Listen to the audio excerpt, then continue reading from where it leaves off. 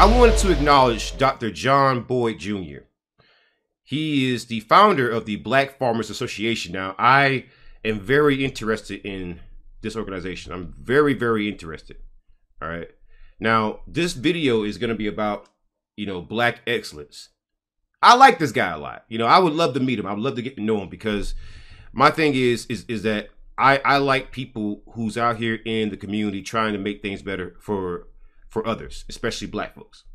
So this is written by Ann Brown from Moguldom Nation. By the way, give Moguldom Nation some of your love and your support as well because they are a publication that's actually putting out news that has a pro-black slant.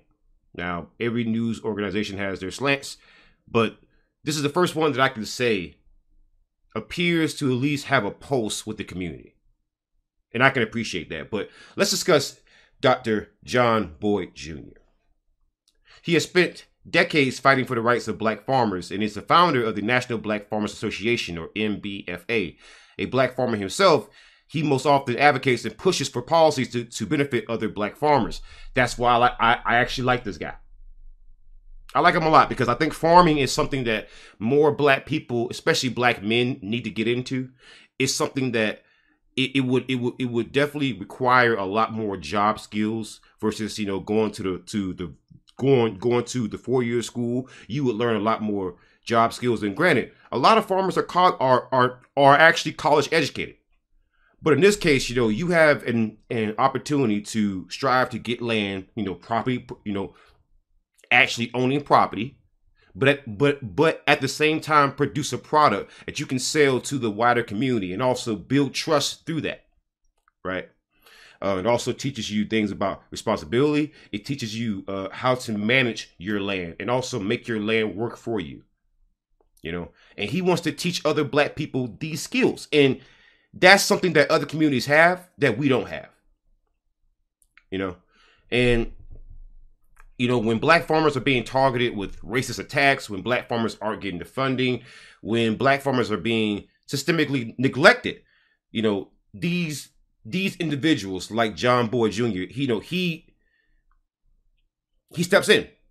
And I want you to know it's Dr. John Boyd Jr. This guy's college educated. You know, people have this perception of farmers and, and people out there, uh, especially in the South, that they are uh, uneducated. Well, you you not only have a, have a black farmer, a black business owner, a black man who's trying to make things better for other black people, but he's smart too. He's smart too. And he founded the NBFA or National Black Farmers Association back in 95. You know, so he's been around for a while. Um, dedicated farmer and activist. Uh, wow. This guy's got a pretty large farm. You know, he's a third generation farmer born uh, back in the 60s. And so, you know, when, when, you're a black man that was born back in the 60s, you know, you've seen some things that other black folks and especially a lot of white Americans have not seen. So I can totally get the reason why he's fighting against white supremacy and why he's advocating on behalf of black people. Because he's a black man who was born in Virginia, and Virginia was the capital of the Confederacy. So, black man from the South, essentially. College educated. So there, so there goes the perception of the black farmer who's uneducated and, and, and doesn't know anything. That's not the case. You know? And the thing about this dude is that this man owns more than a thousand acres. Like I, I think like fifteen hundred acres of land. He owns all kinds of pigs, cows, livestock, crops. He owns all this stuff. Right? And he's been farming pretty much his whole adult life. Now, granted, he probably went to school as well, but he's been doing it for a long time. So, what that what that shows you is that he doesn't need to advocate for anyone. He's already got his. And that's why I can respect someone like like this guy. You know, when I was reading this article here, because I, I actually I actually read Moguldom Nation a lot. I was very interested. I became very curious in this man, you know, and I would love to meet him. You know, if he ever sees this video, I would love to meet you. You know, um, mainly because I think he's done so much good, and the fact that I didn't even know a whole lot about him. You know, thank you to Moguldom Nation for introducing me to this man. You know, and I feel ashamed of myself for not knowing more more about him before. You know, you know, but um, you know, you can't know everything. You know, you can't be in the know with everything. But that's why I picked out this particular article to do this video on because I was I was blown away. You know, I, I, I didn't realize the death, you know, the the the absolute impact this guy had. That to me was fascinating. And the fact that he already had his, he, he didn't have to keep helping people. Listen, if guys like this doesn't help anybody, man, they would, they would make so much more freaking money, have so much more freaking time. I know what it's like to be a black farmer and struggling. You know, people think that farmers are rich, and that's not the case.